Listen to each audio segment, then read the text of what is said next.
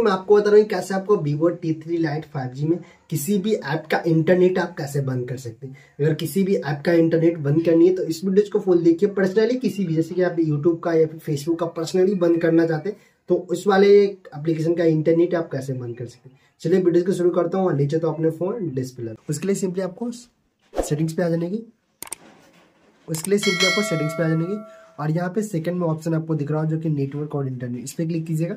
इस पर क्लिक करने के बाद नीचे आ जाएगा तो यहाँ पर नेटवर्क मैनेजमेंट दिख रहा हो। तो नेटवर्क मैनेजमेंट पे क्लिक कर दीजिए। नेटवर्क मैनेजमेंट पे जैसे ही क्लिक कीजिएगा तो अगर दो सिम लगाएँ तो दो सिम शो करेगा यहाँ पे, एक सिम लगाएँ तो एक सिम शो करेगा। वाईफाई के थ्रू तो यहाँ पे शो करेगा।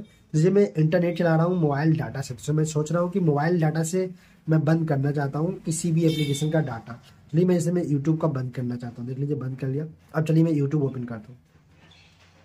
इसे लॉक कर लीजिएगा तो आपका यूट्यूब में चलेगा ही नहीं। इंटरनेट चलेगा ही नहीं। देख लीजिए, चलेगा नहीं। बिल्कुल एकदम साफ़ हो जाएगा। इसमें इंटरनेट नहीं चलेगा। और जैसे मैं इसे इनेबल करता हूँ यूट्यूब को यूट्यूब को इनेबल किया अब यहाँ पे चलिए देख लीजिए। वहाँ से वेट कीजिए। चलिए मैं इसे कट करता हूँ और फिर से यूट्यूब ओपन करता हूँ।